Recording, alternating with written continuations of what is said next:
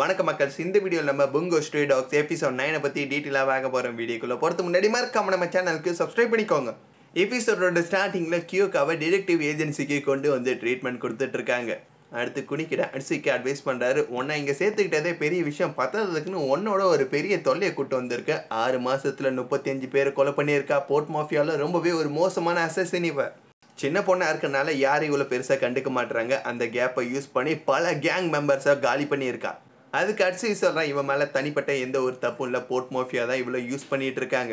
நீ சொல்கிறத கரெக்டு தான் தம்பி ஆனால் இவன் பவரால் பெரிய ஆபத்து இருக்குது நெக்ஸ்ட் கியோக்கா கண் முடிச்சதும் ரெண்டு பேரும் சேர்ந்து அவளை விசாரிக்கிறாங்க. இதுக்கு பின்னாடி யார் இருக்கான்னு குனிக்கிடா கேட்குறாரு ஆனால் அவளுக்கு ரொம்பவே பசிக்கு தான் சாட்டா தான் எந்த விஷயத்தை பற்றி பேசுவேன்னு சொல்கிறா ஸோ பக்கத்தில் இருக்க ஹோட்டலுக்கு அவளை கூப்பிட்டு போகிறாங்க சாப்பாடு எதுக்கும் நான் காசு கொடுக்க மாட்டேப்பா நீ தானே இவளை காப்பாற்றினா நீ தான் செலவு பண்ணணும்னு குனிக்கிடா சொல்ல வேறு வழி இல்லாமல் அரிசிக்கு அவன் பர்ஸில் இருக்க எல்லா காசையும் இவளுக்கு சாப்பாடு வாங்கி கொடுக்கறதுக்கே செலவு பண்ணுறான் வஞ்சனையே இல்லாமல் வளர்ந்த பொண்ணு போல இருக்குது பாவம் பசியில் நாலஞ்சு கப்பை எடுத்து வெட்டு வெட்டுன்னு வெட்டுறான் சாப்பிட்டு முடிஞ்சதும் நடந்த உண்மையை சொல்கிறா என்னோட பேரண்ட்ஸ் ரெண்டு பேரும் சேர்த்ததும் போர்ட் மாஃபியாவை சேர்ந்தவங்க தான் என்னை எடுத்து வளர்க்க ஆரம்பித்தாங்க எனக்கு வேறு வழியே இல்லை. அவங்க சொல்கிறத நான் கேட்டு தான் ஆகணும். இல்லைனா என்னோட கதையை முடிச்சிருவாங்க.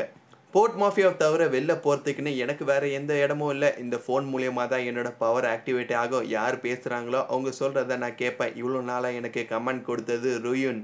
இப்போ கியக்காவோட ஃபோனில் இருக்க பேட்டரி ரிமூவ் பண்ணிட்டு அவகிட்டே ஃபோனை குனிக்கிடா கொடுத்துட்றாரு அடுத்து அட்சியை கூட்டு தனியாக பேசுகிறாரு அவளை கூட்டிட்டு போய் மிலிட்ரி போலீஸ்கிட்ட நீ ஒப்படைச்சிரு. அவளை கண்டிப்பாக நம்மளால் காப்பாற்ற முடியாது. அவள் பண்ண தப்புக்காக அவளுக்கு மரண தண்டனை கொடுப்பாங்க. போர்ட் மாஃபியா கிட்ட திருப்பி அவள் போனால் கூட கேங்குக்கு துரோகம் பண்ணனால அவளை போட்டு தள்ளிடுவாங்க.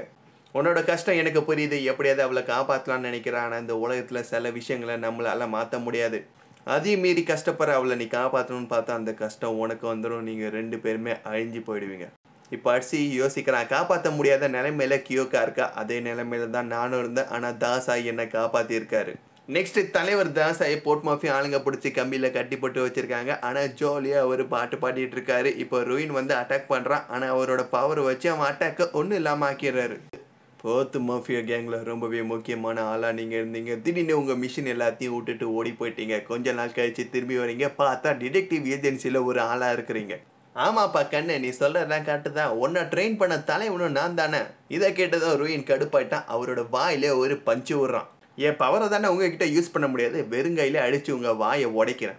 ஃபர்ஸ்ட்டு உங்கள் டிடெக்டிவ் ஏஜென்சியில் இருக்க எல்லாரோட கதையும் முடிக்கிறேன். அதுக்கப்புறம் வந்து உங்களையும் நான் பார்த்துக்கிறேன். அதுக்கு தாசாய் சொல்கிறாரு ஓ பவர் ஒரு மொக்க. கஷ்டப்பட்டு ட்ரைனிங் கொடுத்து உன்னை இந்த நிலைமைக்கு ஆளாக்குனதே நான் தான். இருந்தாலும் என்கிட்ட உன்னோட பாச்சாலாம் ஒன்று வேலைக்காவாது. என்னோட டீமில் புதுசாக அடிச்சு இன்னொரு பையன் சேர்ந்துக்கிறான். உன்னை தட்டி தூசியாக பறக்க விட்டுருவான். நெக்ஸ்ட் அட்சி அண்ட் கியோகா ரெண்டு பேரும் நடந்து போயிட்டு இருக்காங்க நம்ம எங்கே போகிறோன்னு கியோகா கேட்குறான் அட்சிக்கு எப்படி சொல்கிறேன்னு தெரியாமல் முடிச்சிட்டு இருக்கான். உன் ஆசைப்பட்டபடி இன்றைக்கி நம்ம எங்கே வேணால் போகலான்னு சொல்கிறான் இதை கேட்டதும் கியோகாக்கு லைட்டாக வைக்கும். அப்போ நீயும் நானும் டேட்டுக்கு போகிற மாதிரின்னு சொல்லிக்கிட்டு மேப்பில் அவள் பார்த்த ஃபேமஸான இடங்கள் எல்லாத்துக்கும் அட்சியை கொட்டிட்டு போகிறாள் பயபுல் அடிச்சு இந்த ஊருக்கு புதுசுனால இப்போ தான் ஒரு ஒரு புது இடமா பார்த்து ஒரு ட்ரிப் மாதிரி ஜாலியாக அவனை ஒரு சைடு என்ஜாய் பண்ணிகிட்டு இருக்கான். இப்போ ஒரு ஐஸ்கிரீம் கடையை பார்க்குற அவளுக்கு சாப்பிடணும்னு ஆசை இருக்குது ஆல்ரெடி ஹோட்டலில் செம கட்டி. இருந்தாலும் ஐஸ்கிரீம்னா எல்லாருக்கும் ஃபேவரட் தானே. அவள் சந்தோஷமாக சாப்பிட்றா. இருந்தாலும் அடிசைக்கு காசு போகுதுன்னு ஒரு சைடில் சோகம். நெக்ஸ்ட் சின்னதாக ஒரு கேம் விளையாடி முயல் பொம்மை ஜெயிக்கிறாங்க. அடுத்து ராட்டத்தை பார்த்ததும் அதில் ஒரு ரவுண்டு போயிட்டு வராங்க. கியோக்கா ரொம்பவே சந்தோஷமாக இருக்கிறான். அதனால் அடிசிக்கும் சந்தோஷமாக இருக்கிறான். நெக்ஸ்ட் கடைசியாக ஒரு இடம் நான் பார்க்கணுன்னு ஆசைப்படுறேன்னு போலீஸ் ஸ்டேஷனுக்கு கொண்டு வரான். நான் பண்ண தப்புக்கு கன்ஃபார்மாக மரண தண்டனை கொடுத்துருவாங்கன்னு எனக்கு தெரியும். போர்ட் மாஃபியாவுக்கு திருப்பி என்னால் போக முடியாது. என்னை போட்டு தள்ளிடுவாங்க.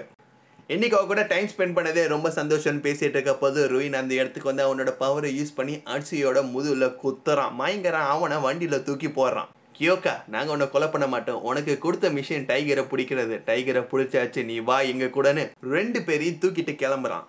நெக்ஸ்ட் அரிசி கடத்தப்பட்ட விஷயத்த டெனிஸாக்கி குனிக்கிட கிட்ட சொல்கிறான் ஆனால் குனிக்கிட ஹெல்ப் பண்ண முடியாத ஒரு நிலைமையில இருக்காரு. ஒரு முக்கியமான மினிஸ்டரோட எஸ்காட் மிஷனை ஏஜென்சி டீல் பண்ணிட்டு இருக்கு. ஸோ இப்போ அட்சியை காப்பாற்றுற அளவுக்குலாம் இவங்க கிட்ட சுத்தமாக ஆளே இல்லை. கடைசியாக பார்த்தா ஐ விட்னஸ் படி அவனை ஒரு ட்ரக்கில் கடத்திருக்காங்க. போர்ட் மாஃபியாக்கு இந்த ஊரில் எத்தனையோ ரகசியமான ரூட் இருக்குது எங்கே போயிருக்காங்கன்னு கண்டுபிடிக்கிறது ரொம்பவே கஷ்டம்.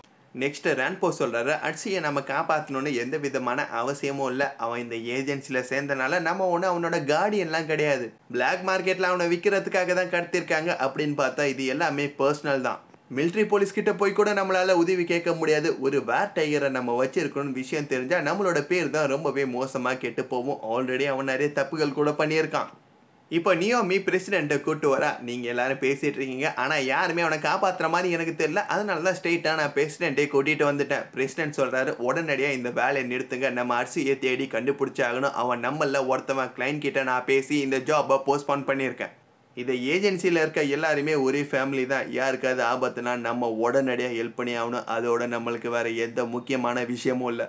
இதை கேட்க ஒரு சைடு ரொம்ப சந்தோஷமாக இருந்தாலும் தாசாயை பற்றி எவனும் ஒரு வார்த்தை கூட இன்னும் பேசலையே. அதான் எனக்கு சோகமாக இருக்குது நெக்ஸ்ட்டு கட்டி போட்டு வச்சிருக்க தலைவர் தாசாயை பார்க்கறதுக்காக இன்னொரு தலைவர் சூயா வராரு. இவர் தான் முன்னாள் தாசாயோட பார்ட்னர் அடே தாசாயி உன்னை இந்த நிலைமையில பார்க்க எனக்கு ரொம்ப சந்தோஷமா இருக்குடா. உன்னா மென்டல் மாதிரி சூசைட் பண்ணிக்கலான்னு ஏதாவது பொண்ணு பின்னாடி தானே சுத்திட்டு இருக்க?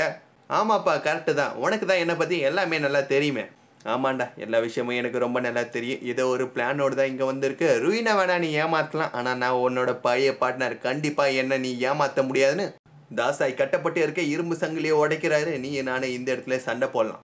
ஓகேப்பா சண்டை போட நானும் ரெடி ஆனால் நீ தான் என்னை காப்பாற்றின நினச்சிட்டு இருக்காத நான் நினச்சா எப்பயும் இங்கேருந்து தப்பிச்சிருக்கலான்னு அவர் கையில் இருக்க இரும்பு சங்கிலியை அவரே ஓப்பன் பண்ணுறாரு நெக்ஸ்ட் ஊரில் இருக்க CCTV camera and eye witness எல்லாத்தையுமே தரவா செக் பண்ணி அடுத்து கடத்தப்பட்ட ட்ரக்கோட கம்பெனி கண்டுபிடிச்சிட்டாங்க. நம்பர் பிளேட் ஃபேக்கு இவங்க போர்ட் மாஃபியாக்காக ஒர்க் பண்ணுற ஒரு குரூப்பு இப்போ டனிகாசி அந்த கம்பெனிக்குள்ளே இருக்க ஆளுங்களை விசாரிக்கலான்னு பார்க்குறான் ஆனால் எல்லாருமே இறந்துருக்காங்க. ரொயின் ஆல்ரெடி எல்லாருமே போட்டு தள்ளிட்டா இன்ஃபர்மேஷன் வெளில லீக் ஆகக்கூடாதுன்னு.